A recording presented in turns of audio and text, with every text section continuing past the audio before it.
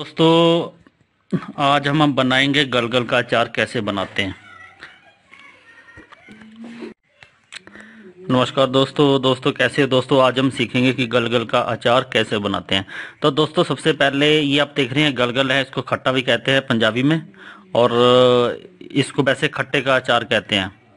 तो दोस्तों, करना क्या होता है, अपने गाँव से, जैसे किसी भी जंगल से अपने खट्टे ले आने हैं, गलगल ले आने हैं, और इसको क्या करना है, सबसे पहले आपने धोना है और सुखाना है, जो जिससे इसकी नमी खत्म हो जाए। और दोस्तों, उसके बाद क्या करना होता है, इसको हमने ऊपर से काटना है थोड़ा सा, और इसको इधर से काटना है। इसके बाद आपने इसको चीर कर इसका छोटे छोटे पीस बनाने हैं, जैसे ये बनाए हुए हैं। और इसके बाद आपने क्या करना है तो दोस्तों, जैसे आप इतने छोटे छोटे पीस काट लेते हैं तो आपने क्या करना है? आपने सबसे पहले फिर आपने सरसों का तेल लेना है। जैसे ये सरसों का तेल है, इस सरसों के तेल में या आप इसमें डाल दो मेथी। मेथी को थोड़ा सा भूनना है इसमें और इसके साथ इस तेल को, सरसों के तेल को गर्म करना है। और दोस्तों, फिर क्या करना है? आपने क्या करना है? इसके अंदर अब हमने इसमें लाल मिर्च डालनी है और साथ में अब इसमें हमने हल्दी डालना है और काली मिर्च वो भी डालना है, उसका पाउडर भी डालना है और उसको टेस्ट के हिसाब से हर चीज़ को इसमें मिश्रण करना है। तो दोस्तों आइए चलते हैं, अब हम इसको मिलावट करते हैं। उसके बाद आपने जैसे जैसे जो विधि है, मैं बताऊँगा, वैसे वैसे आपने करना है। तो दोस्तों तब तक वेट करें। दोस्तों अभी हमने गलगल का अचार जो है काट लिया है। अब इसमें क्या करना है, सबसे पहले हमने हल्दी डालेंगे। तो दोस्तों, हल्दी डालना है इसमें। तो दोस्तों, अब हमने गलगल का अचार काट लिया है। अब हम इसमें हल्दी डालेंगे। तो ये हमने हल्दी डाल दी है।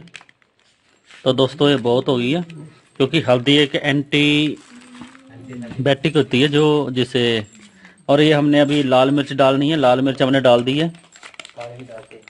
तो दोस्तों, लाल मिर्च हमने टेस्ट के हिसाब से डालनी है। और इसके बाद ये हमने अजवाइन है।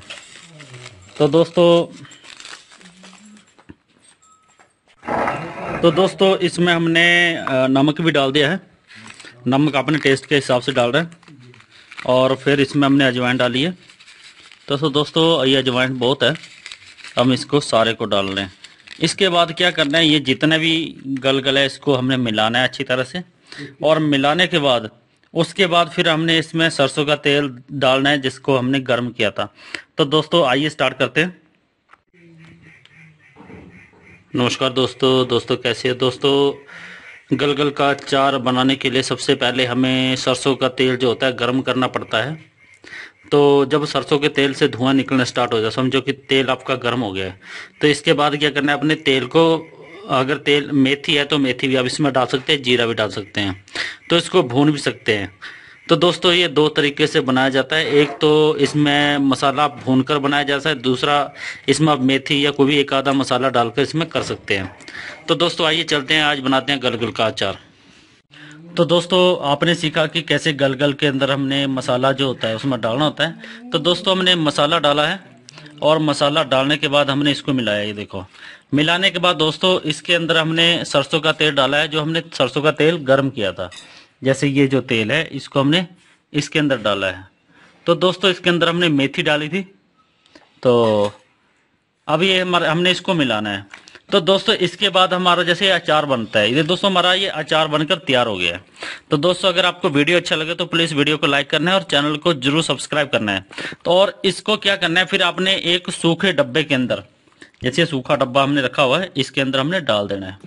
तो दोस्तों, ये हमारा अचार बनकर तैयार हो गया तो इसी के साथ ही जय हिंद, जय भारत।